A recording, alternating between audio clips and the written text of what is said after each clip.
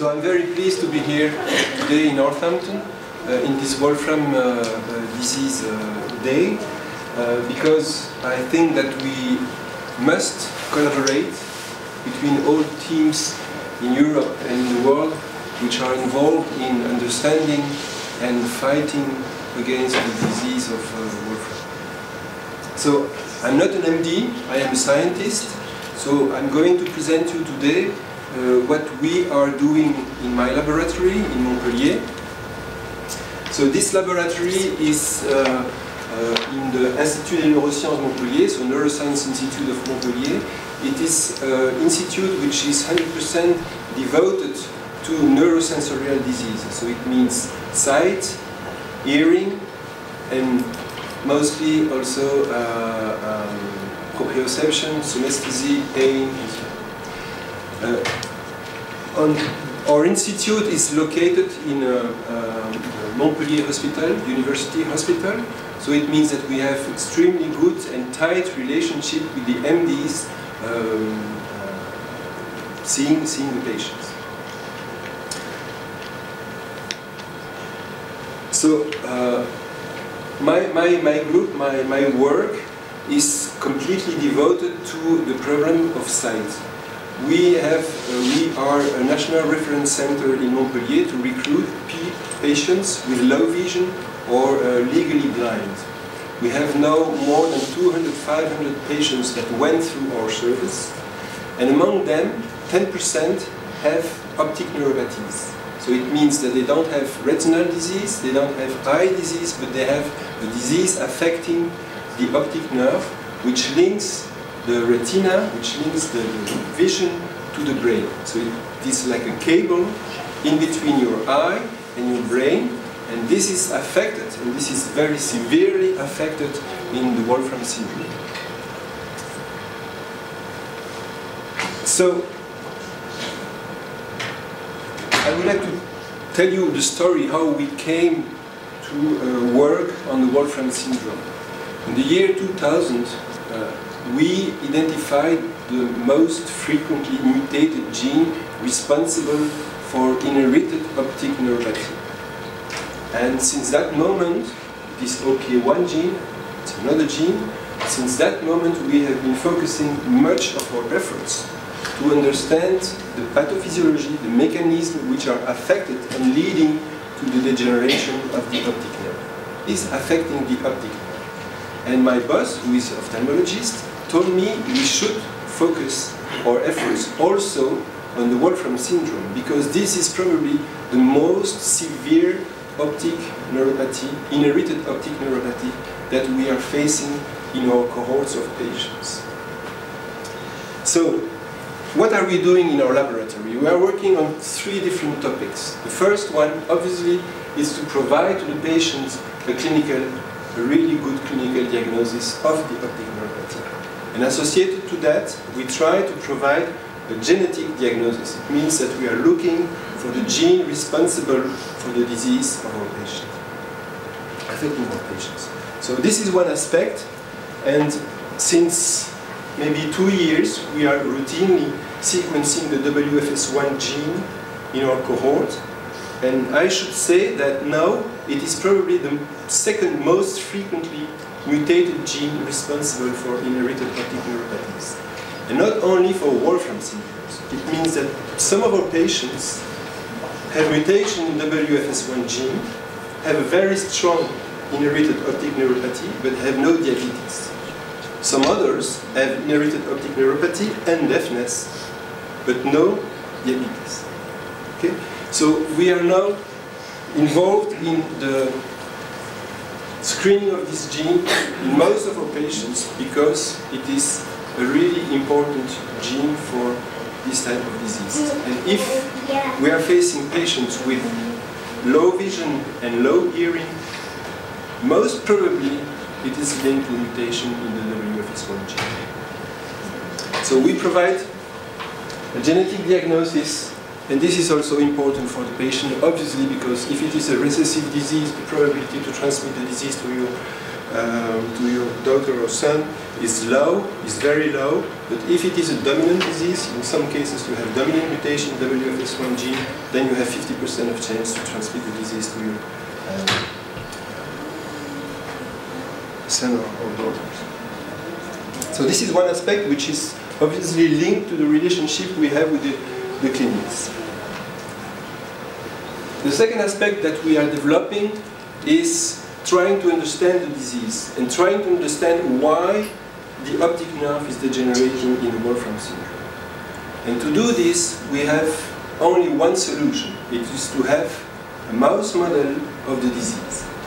So to get this mouse model, we need a, a mouse with mice with two mutations in the WFS1 genes. And uh, you should know that to generate a mouse model with a mutation in one gene, the cost in, in, in, in Europe, in France at least, is something like 50,000 euros to generate one mouse that you can breed afterwards without any problems. But generating just one mouse model, it's a very uh, uh, important cost. So we knew that uh, in the world, and in particular in Japan, there was a mouse model with a mutation in the WFS1 gene. So, thanks to Nolwenn, who has been organizing in 2009 the first meeting or first workshop on Wolfram disease, I met the uh, investigator from Japan who owned this mouse model. I already asked him two years before, in 2007, if he would uh, be uh, so kind to send me the mouse model, and he said no. But because he came to France, uh, we had this workshop, and then it's a two-day workshop. Between the first and second day, we have in general a very good supper, some, uh, uh, and this time it was on, on, a, on a, barge uh, on the same river. Okay, so we had a very good uh, evening, plenty of wine. when we came back to the hotel, uh, really, I mean, I, I had the supper with uh, Yukio Tanizawa, and I was really enjoying and, and, serving him a lot of wine, red wine.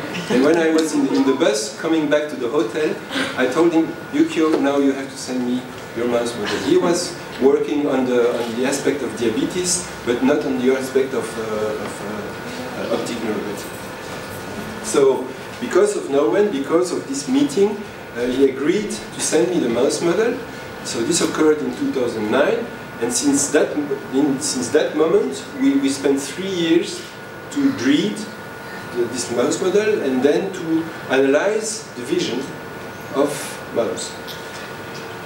So we have now in our institute all the facilities to evaluate all the parameters of the vision of a mouse. Exactly with the same criteria that are used for uh, the diagnosis of uh, low vision for uh, a human patient. And we spent three years to study this mouse model to finally reach the, the, the conclusion that uh, it, had, it had a very poor loss of vision. So it means between uh, mutated and control mice, we had a very faint difference in uh, the vision and we had a very low degeneration of the optic nerve. So we spent three years on this and at the end, now we take the mouse and put it in the dustbin because it has no use for future uh, therapeutic trials. Since that moment, we had two additional uh, uh, meetings on Wolfram in Paris, and at that moment, I had the same process with another uh, investigator coming from um, uh, Slovenia, Estonia, sorry, Estonia, and uh, he had a second model another model, different, with a different mutation in the WFS1 gene. And uh, we, we convinced him also to send his mouse model to our laboratory. And since that moment, we are now working on this second mouse model because it, is, it has a much more severe phenotype than the first one that we get from Japan. Okay? And we are now almost convinced that this model will be perfect for testing gene therapy, something that we will try and that we will develop uh, in the next weeks, the next months. And we hope to have some uh, results, I don't say positive results, but at least results in 2014 to know if by acting by gene therapy, by injecting a vector with the WFS1, with the wild type WFS1 gene in a mouse model, we can rescue, we can prevent the degeneration of the nerve. This is a very tricky uh, experimental procedure. It is very difficult because the size of the eye of a mouse is 500 times smaller than the eye of a human being. So it is extremely small.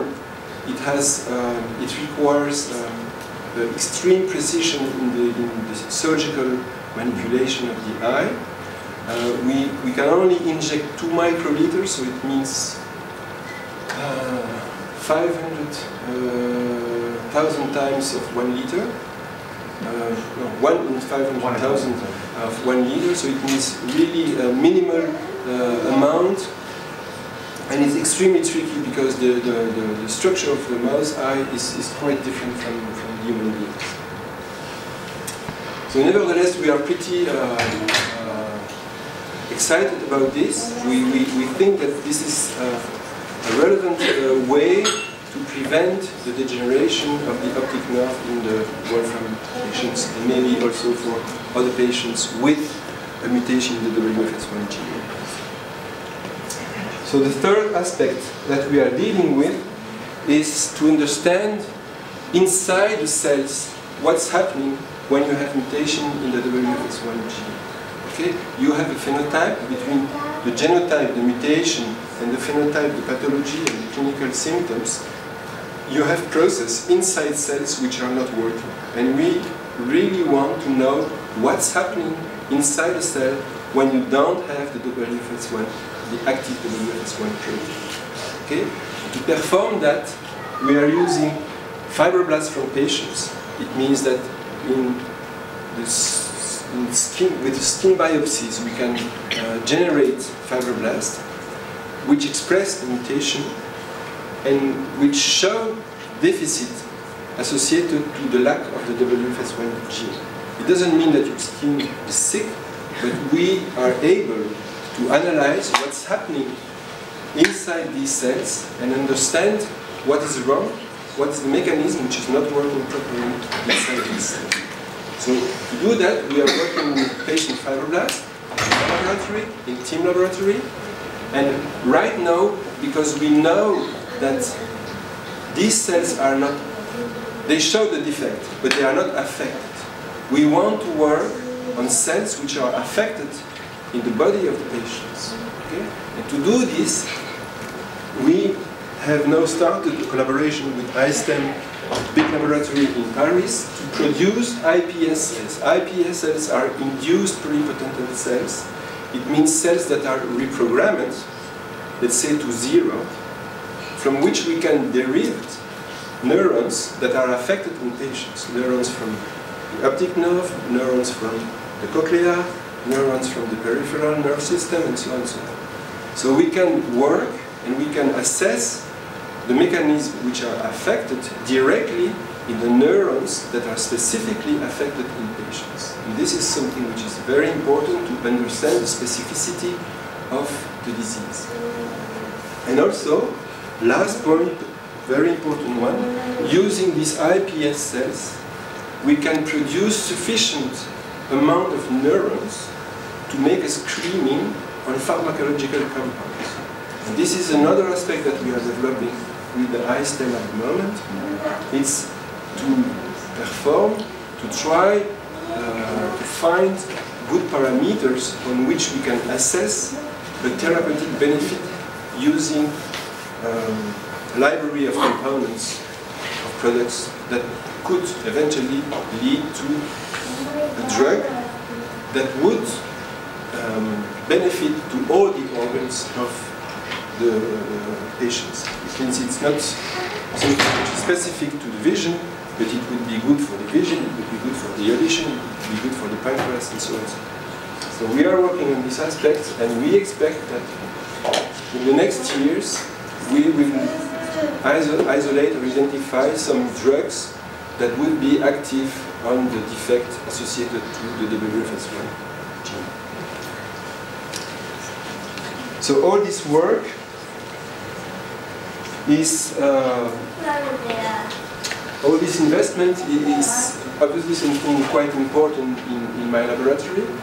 The work is performed by Delphine Bonnet, Cécile Delettre and Nesrine Ben Kafadar. There are three persons working 100% of their time on the Wolfram disease, plus additional technician dealing with the mouse model because you have to reproduce, you have to feed them, you have to breed them, you have to uh, genotype them and so on. So it's quite a, a heavy work to work with, uh, with mice, also quite expensive.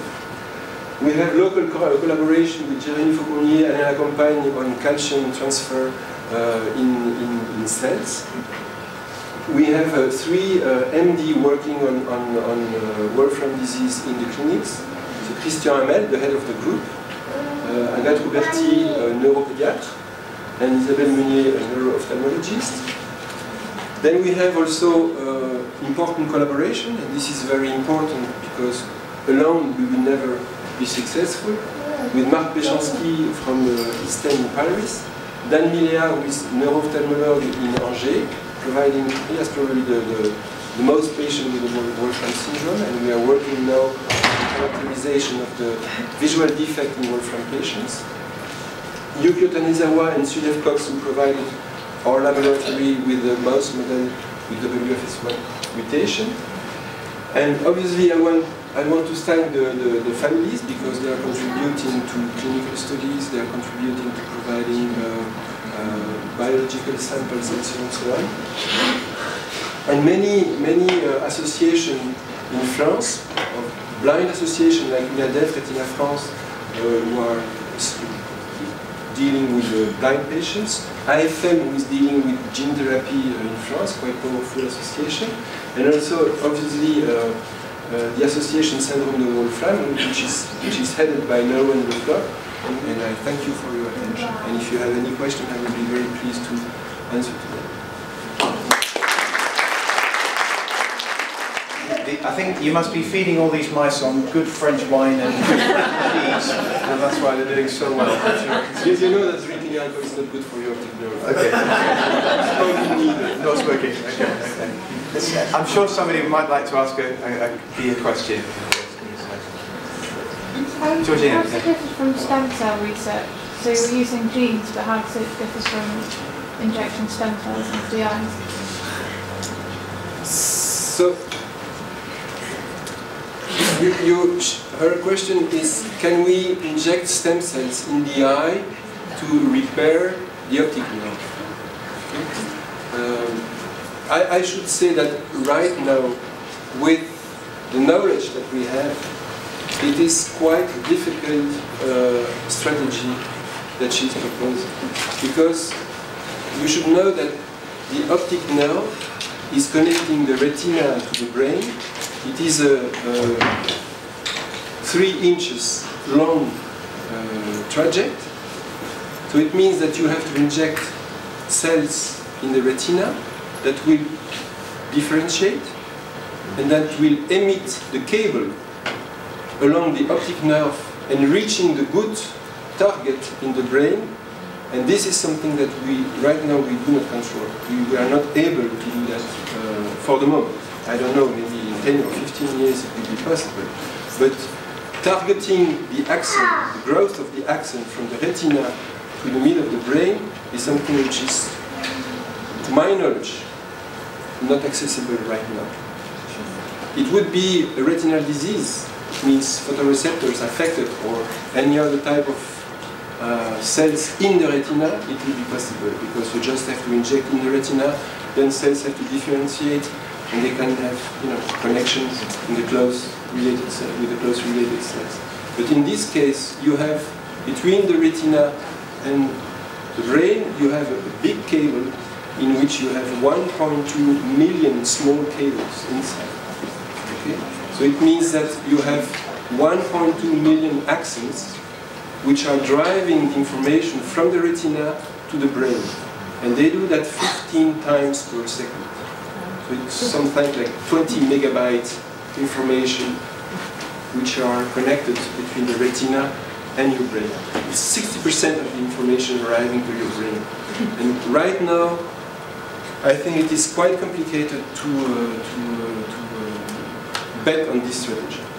We can either propose gene therapy to prevent or to slow down the evolution of the disease, but this is specific of retinal ganglion cell, this is specific of the optic nerve, or we are also looking for more general so the solution means taking a pill, and this would uh, slow down the evolution of the disease for all the cells. Yes? It's not to actually repair any damage that's already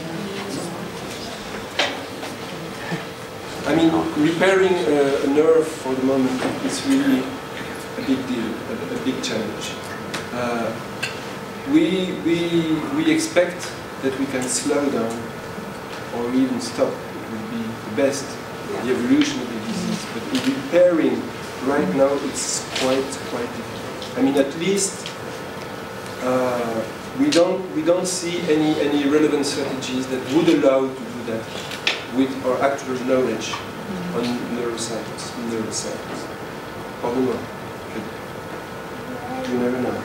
Dee, what sort of, you know, if you were a, a betting man, which you might be, I don't. As a scientist, I have always been. Okay, fine. what sort of, you know, timescales might you do you think there might be? You know, is it you have no idea or? You know, I, I try to, to tell you a very simple story. Okay. I have no much time, but it is really highly difficult. Yeah.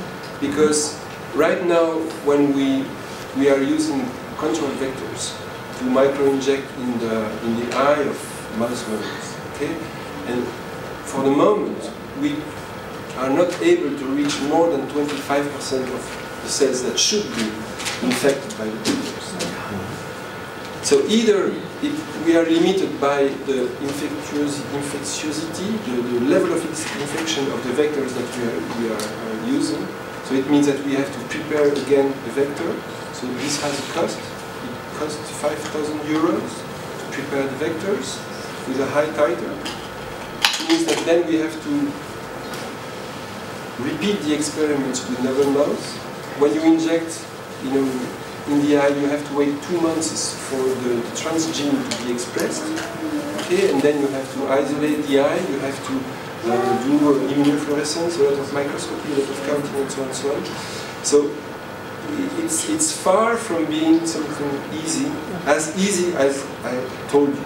Right. Okay, but for example, the, the I have a, a, a technician who is really specialized in, in microinjection in the mouse model.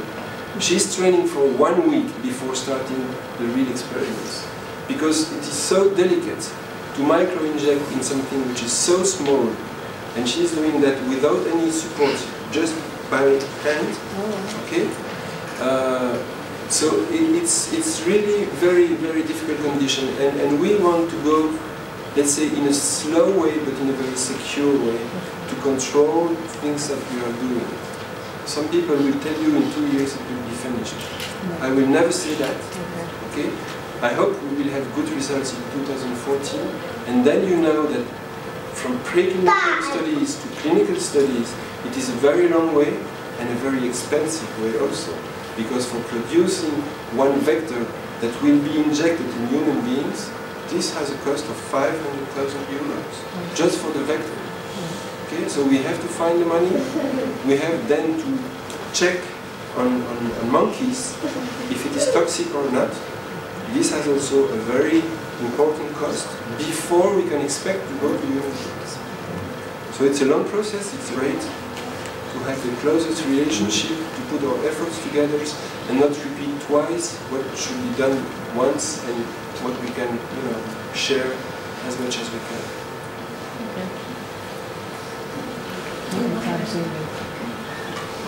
Oh wow. Yes? Sounds like there are two parts to the process that you're working on. Uh, one is the delivery of the drug, and one is the drug itself, the development of the drug itself. In, in, a sense, are they, are they both, are they so hand in hand that they're the same distance along the road? Or do you feel that, that there's one part of those two things which is further than the other? delivering the treatment is a very important question. If you, if you think about gene therapy, then you have to deliver part, a bit of DNA to retinal ganglion cells in the eye. So to do that, we are using um, uh, adenovirus associated vectors. So it means that they are um, viruses that are routinely affecting us every day, but from which we have taken out, not me, but people working on vectorology, taken out the viral particle, I mean the, the part of the virus which is, which is dangerous for health, and we are just using the capsid, the surrounding of the virus, to infect cells and providing the therapeutic DNA. So this is something which works pretty well, although right now, for the moment, in mouse model, we do not reach more than 25% of all the cells that we would like to infect. Okay? But we can expect to reach higher level. So this is one aspect. Now, if, you- if, if you consider delivering a drug, pharmacological drug, we don't know what will be the molecule that we are going to identify, but we will have to consider, probably in collaboration with uh, persons which are who are specialized in, in, in drug delivery, uh, if you take it by just by mouth, or if you have to inject them in the eye or in the, in the ear, in the cochlea, or but I would guess it would be by. I would bet on this. On this aspect. And then it should slow down the degenerative process in the whole body, not specifically in the eye or in the,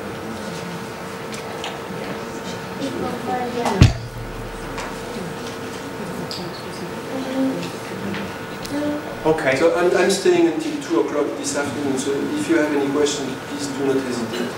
I will be very happy to answer. Keith, thank you so much.